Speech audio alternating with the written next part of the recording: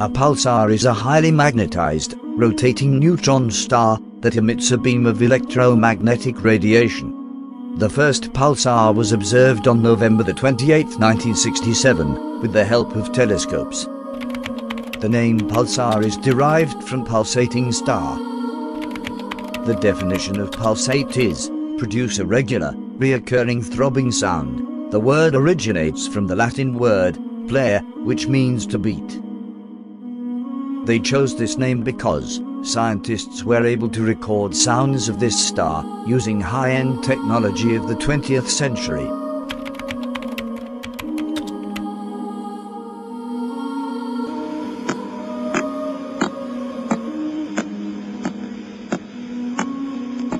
The most astounding fact is that this star was described 1400 years ago in the Quran. In the 86th chapter of the Holy Quran, Allah describes a star named Tariq. والسماء والطارق وما أدراك ما الطارق النجم الثاقب إن كل نفس لما عليها حافظ فلينظر الإنسان مما خلق خلق من ماء دافق يخرج من بين الصلب والترائب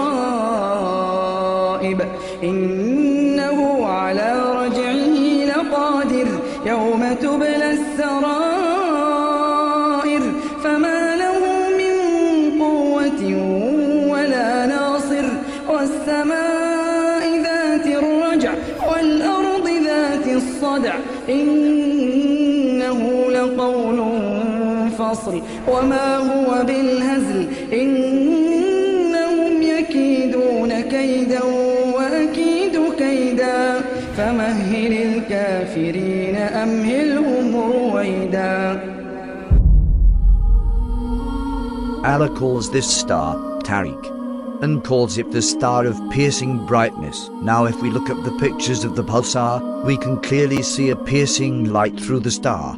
But there is more. Allah also called the star Tariq, which in Arabic means the beater or striker. Tariq is derived from the Arabic verb taraka, which means to strike or to beat. It also refers to someone who comes in the middle of the night and knocks on the door. You heard how the pulsar sounded in the beginning of the video, which scientists were able to hear using high-end technology of the 21st century. You can clearly hear the sound, which sounds like someone is striking or knocking on something. How could the Quran know this 14 centuries ago when there was no high-end technology? There is no doubt left, the Quran is a book from God, and Muhammad was his messenger. He gave us this book to use our intellect and then come to the conclusion that he is our creator. He doesn't have to reveal himself to make us believe in him.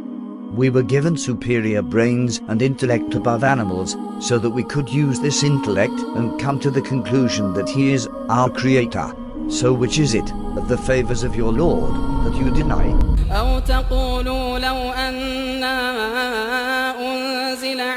الكتاب لكنا أهدى منهم فقد جاءكم بينة من ربكم وهدى ورحمة. فمن أظلم ممن كذب بآيات الله وصدف عنها سنجزي الذين يصدفون عن آياتنا سوء العذاب بما كانوا يصدفون هل ينظرون إلا أن تأتيهم الملائكة أو يأتي ربك أو يأتي ربك أو يأتي بعض آيات ربك. يوم يأتي بعض آيات ربك لا ينفع نفسا إيمانها لم تكن آمنت من قبل أو كسبت أو كسبت في إيمانها خيرا. قل انتظروا إنا ناظرون.